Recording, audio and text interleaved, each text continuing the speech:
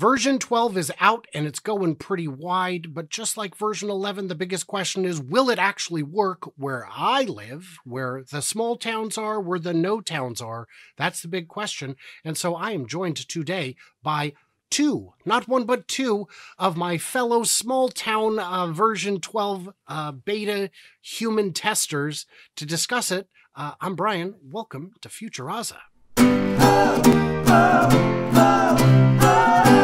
So I've got a couple folks here who might know what's going on, uh, at least from their experience. We've got uh, Brian Riebe, drives electric. Uh, he puts out a whole bunch of his own pretty good content. Uh, his video production quality is crazy. I don't know who this gentleman is here, uh, but he looks an awful lot like, uh, yeah, Iowa Tesla guy. Oh, yeah, that's you. Okay, great. So I've got the right people in the right place for this conversation. That's going to be helpful. So thanks for having me. Yeah. Yeah. Thanks for having me. Yeah. I love you guys. You know that. So, uh, version 12 is rolling out. So, uh, I'm on 12.3.2.1. Uh, Brian, what are you on? 12.3. And Jim?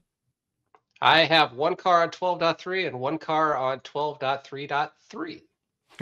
Oh, so we've got all the, we've got quite a collection here. We've got quite a few different variations.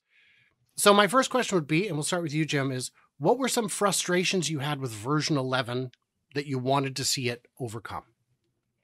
Um, lane changes that just happened randomly um, and sometimes in, dangerously. And uh, that seems to have been completely fixed. Also, roundabouts. We have a lot of roundabouts where I live here in Iowa. Surprise, we have roundabouts in Iowa.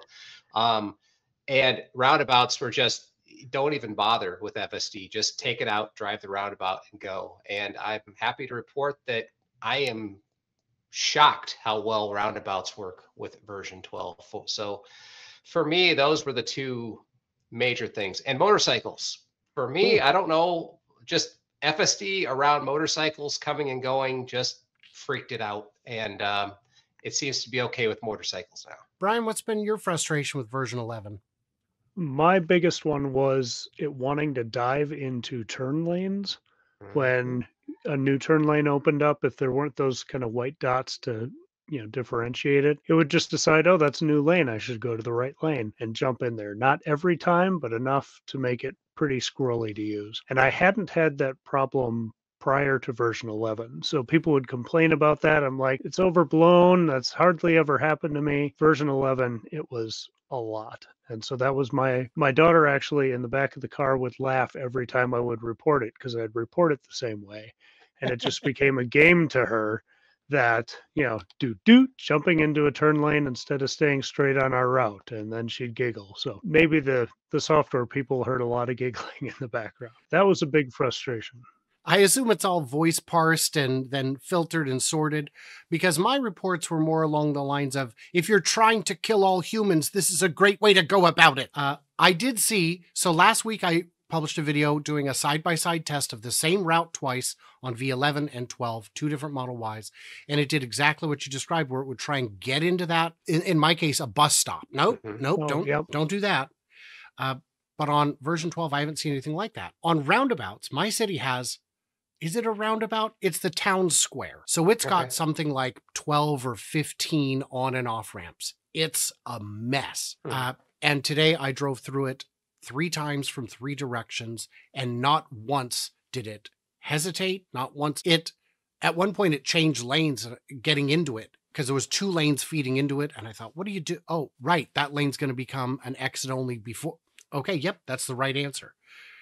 So I was plenty impressed. Uh, so those are some frustrations in version 11. I'd say uh, my biggest ones were it just didn't work in my town. You know, there were there's a lot of goofy little old roads. This is an old mill town that that has been here for well this half of the town is new it's only 100 years old but the other half is a little bit older uh, but the roads are small and weird and not very well thought out the city planner was trying to make the city feel bigger by intentionally introducing inconveniences. He cut a, a little artificial lake and then platted half the city off of that and the other half not out.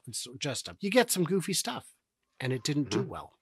So uh, on version 12, so those were the problems we had with version 11. Oh, on a so on a on a scale, let's give it a A to F scale, A plus to F scale. Version 11, where you live, what kind of grade would you have given it? Before having used version 12, I would have given it a B plus. Now, after I've used version 12, I think the grade should have been a lot lower. Mm-hmm. Brian? I would say C because of all those, you know, lane shift issues. Yeah. So for me, it would have been a D, D minus because it was bad enough that in town I just wouldn't use it. In one demo I did, I pulled up to a stoplight, and without exaggeration, it would go two blinks left, one blink right, two blinks left, one blink right. Hey guys, where are we going?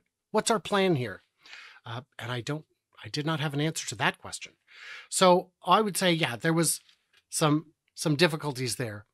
Uh, now that you're on 12, does it work? I mean, we'll start with you, Brian. Does do, does it work? I would say I haven't used it enough to give it like an A plus, but I would say it's solid B plus to A uh, from just the level of disengagements. The roundabouts I've used, um, it was shockingly good the first time. Um, going in, it had to wait for traffic, and in version 11, it would creep, but maybe creep in an uncomfortable way for that oncoming traffic where this just got itself right in the right human position where oncoming traffic knew I was in the right spot and waiting till they'd pass. And I was confident, okay, we're going to go right after this person and be right in the right spot. And we did. And my wife and I looked at each other like, oh, this is a big deal. Indeed. Now, I, uh, uh, Jim, what are your thoughts? Well, I actually got uh, 12.3 when I was in Atlanta on a road trip back home. And my very first drive was a 50, 80 mile drive out of Atlanta to a supercharger with my wife sitting next to me. My wife is, she's the one that complains the most when we're in the car about whether or not I'm using it. And she gave that entire experience a big thumbs up. And that's a great endorsement uh, coming from her. Um, it just, was incredibly human like, smooth in the turns. It's one of my big complaints with V11 that I didn't say was that it's just when it starts to go, it was just too hesitant. It just it needed to get up and go. And and V12 almost get up the get up and go for me is almost too much at times. And um picking the right speed, the the automatic um, speed offset, the new automatic uh, setting that you have to let the car pick that seems to be a really interesting feature that was added where the car now just determines based on what's going on around it how fast it should go. And in the Atlanta area, it was following traffic. It was going over the speed limit. It was going under the speed limit, following traffic. It was just, you know, I found the overall experience to be we, we, we said wow out loud several times on that drive and and I've had FSD for a long time and it takes a lot for me to say wow the night that I got it, I I went inside. I said, "Who wants to go with me?" And two of my boys were like, "Absolutely, let's check this out." And so the first thing we did was plotted a course all over town through all of the usual trouble spots. And the first thing we did notice is it did drive more human like. It was more natural feeling. And then we went to our trouble spots. And the first one, the big trouble spot that I've had, is it tries to make navigation says make an illegal left across a double yellow through two lanes of oncoming traffic because somebody trained it that way in the dark in the middle of the night when no one was around. I've mm-hmm. taken that left when no one's around, but I I would not want my car to do it for me unless there's literally no one around. And it put on the blinker, it slowed down, and then it turned off the blinker and just drove past it to the next light. And we all said, wow. Now we tried it again on camera and it tried to turn. So there are, we're not perfect yet. I, I would say B plus A minus as well for my score. The big thing is you said your wife was the biggest critic. My kids were definitely the biggest critic. They don't mind when I'm in control, but what they're watching is me battling a machine for, right. for dominance and it's uh it's it, it was scary and my youngest said when you would engage fsd i would i would I would pay attention from the back seat watching to make sure we're not about to be in danger. And I don't feel the need to do that anymore. That's a big vote of confidence. Uh, are there problem spots that you've had, Brian? Are there problem spots you've had before that it's gotten better on? Yeah, most most of my problem spots are solved. I had there's a a weird road I found in early FSD testing where I was just going around the suburbs anywhere I could. And there's this one road where you take a right turn and then the right lane is a turn only lane so you have to get to the left. Then you go through an intersection, then the straight lane is to the right and there's a turn lane to the left. And it would jog between these and you know just had the hardest time and then further on where we would turn it would keep trying to take every turn lane like surely this one's it. Surely this one's it. And it, it never was and you know frustratingly break out of it. Um, took uh, version 12 there. It nailed the entire thing. It was beautiful exactly how i would have done it. Um, the only issues i've had on version 12 are um, one tricky intersection off of a from one highway to another going into a clover leaf. There's kind of an odd um, the way the exit area is shaped is weird and the lines on the road are a little weird. So had a little trouble figuring out where it needed to go there. Not unsafely but it was slowing down and there was enough traffic that i took it out there. Had it gone to the left instead of right you know we just would have gone down the road taken a, another turn and been on our way but um, so that was a disengagement. Um, like you with the filming thing, that's when it, it didn't want to work quite right. Uh, I picked up a friend at the Mall of America the other day. I was telling him how great this new version is. Came up to the stoplight and really aggressive stop. It was fine, but we both kind of lunged and it was like, ah, well, usually it's really good. So there's still some stuff to to fix and obviously you know you guys are on further versions or have access to further versions so you can tell they're kind of tweaking some of that stuff one thing i have observed is that it feels like some of the ways it behaves are not for humans or for comfort but for NHTSA compliance it stops mm in my opinion much too far back at stop signs because mm-hmm. that's the law and then it inches forward so that is annoying. I'd like you to stop like at the at the actual line, not the painted line, but that's the law and I get it. And there's other behaviors it does like that. Not running yellow lights. It'll stop a little harder. It's two or three times now. Really stopped. I I would have gone. If it was a professional driver and I was in the back seat, I wouldn't have cared either way. So go, don't go, I get it. Um, the conservative approach was to stop, and it did. Uh, so then the question is in a lot of past versions, we've seen two steps forward, one step back, one step forward, three steps back. Are there steps back that you've seen, Jim? Um, steps back, maybe a little bit in the way of um, speed control, although that seems to be addressed with 3.3.3.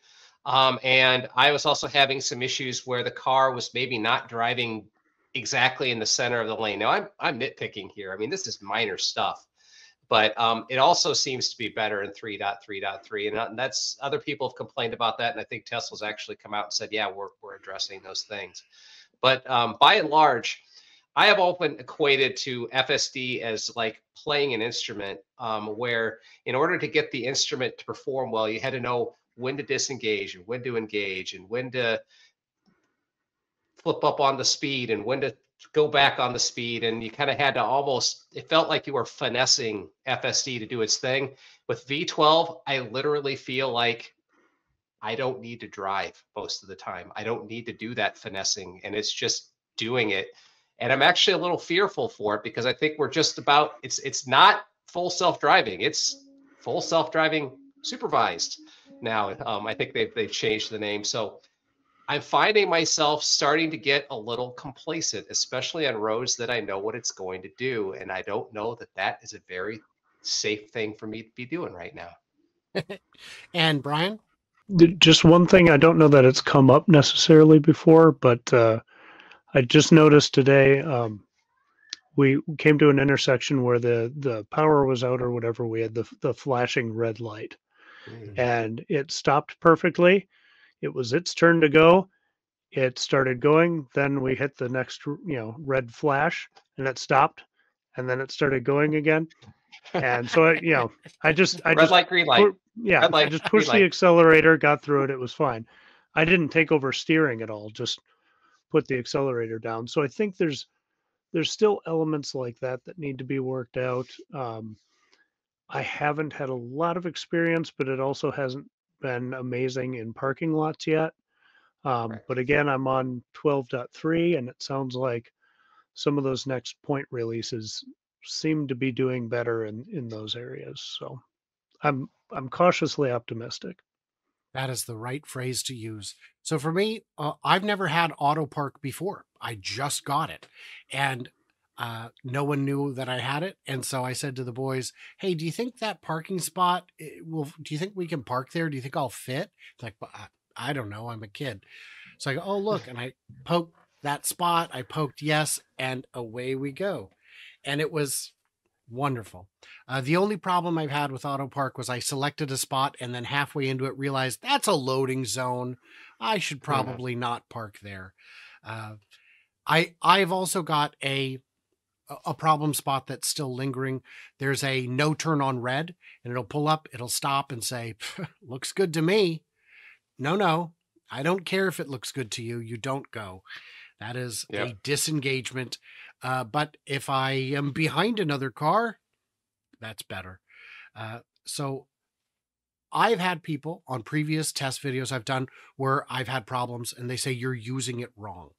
And I would argue that I'm not because I consider myself a fairly sophisticated user and understander of it. But like you were saying, Jim, there's a lot of, uh, it, it's like playing a, a, an instrument and this is not. If I am struggling to use it correctly, uh, everyone will struggle to use it correctly, and not everyone, obviously, Absolutely. but but most people. So my question in summary is, you know, we saw how good this worked for people in big cities, for whole Mars catalog, for everyone I saw testing it. Uh, in any major city on the West Coast, it was very impressive. I saw some great drives in Florida, very impressive. Would you now recommend this uh, to people living in smaller towns? Uh, Brian, you go first. Absolutely. Yeah. This is the first one, like Jim was saying, you know, playing it like an instrument where uh, you still have to pay attention. But, you know, my suggestion to people as, as they've tested it out in the past has always been keep your hands on the wheel, let it do its thing. But when it does something you wouldn't, that's when you take over. Um, and then today, when we were with family, I was talking to a few people about this and I said, you know, this is the first version where I feel like I could put you in it, give you that instruction, and having never used it before, you would enjoy driving with it. Jim? Um, absolutely. I, I shudder to say this. I've been saying for a long time, I've never thought the price of FSD was worth what they were charging. And I'm almost ready to say, I think we're getting close. Um, it's it's it's really really compelling, and I think I would feel comfortable um, with very little instruction turning somebody loose on it and saying give it a try and because you don't have to play that instrument anymore. It's now the casio keyboard where you press the one button and it just plays the whole song for you at least most of it. Um, but yeah the the first 100 feet and the last 100 feet are on you but everywhere in between it can almost do just about anything yeah, I, I would agree with that. My assessment of version 11 was unless you live in a place where you can test it first, don't even think about it. Um, mm-hmm. But now it, I am still hearing uh, one of my viewers, Lex, is uh, having trouble with it in Colorado, which is a little surprising to me, but I believe him. I have no reason to doubt his experience is valid. So that'll be something to keep an eye on. But these new versions are rolling out so darn quick in terms of is it worth the price? And, and new areas, aren't they? Yeah, yeah, yeah. Uh, in terms of is it worth the price? That's not a question any of us can answer. It's up to the individual driver. That's up to your budget. If you've got all the money in the world, the answer is don't even think about it. And if you've got no money, the answer is you can't think about it. So, Right. uh, um, I do have a fun picture to share at the end, but first I was going to mention uh, all three of us will be at this event in some capacity, the Tesla Owners Club Yes. of Michigan. Uh, both Brian and Jim will be at the Rockstar tent. We'll figure out a time for different people to come by and meet your favorites. But we've got some great folks coming Sandy Munro, Bradford Ferguson, and Matt Smith of Rebellionaire, Bearded Tesla Guy, Dirty Tesla, and most of our lineup. And Kyle's going to be there. We've got a couple people from Europe. We've got uh, Tesla Tino will be there. We've got a really great lineup. Most of these people are, most of the people coming are from the Midwest, of course. Why wouldn't they be? And uh, it's going to be a lot of fun. And then we have Plaid Day the following day, which is a ticket, which is a, I think, 20 bucks or something, with all of that money going to charity. And I said to Kelly, You got to keep some of it. And she said, We can't, or we have to pay to use the road. And we don't have the budget. And that makes sense. The city, you know, you, you're going to hold a paid drag event, and it's not drag racing, it goes one car at a time, but still. So, what did we miss? What did we misunderstand? Leave it all in the comments. Uh, head over, follow Iowa Tesla Guy, follow Brian Riebe Drives Electric, and uh, just for fun, uh, this is our new dog. Ah, Isn't she pretty? Cute. She's very Yeah. very pretty dog. That baby gate is not for her, it's for the other dogs. She gracefully bounds over it like a gazelle, like it's not even there. Uh, and uh, and what we do if we want all the dogs to be able to come and go except Pancake, Pancake is a yellow lab. We just lay it flat, and she looks at it and goes, "I'm not stepping on that." because she's dumb. All right, guys. So uh, thanks for hanging out and uh, appreciate uh, you joining me today. And we will have you back very soon because we're about to shoot another one of these because that's just how we do it. Uh, stay tuned. Stay juicy. Can't wait to hear from you, clever robots in Michigan on June 15th.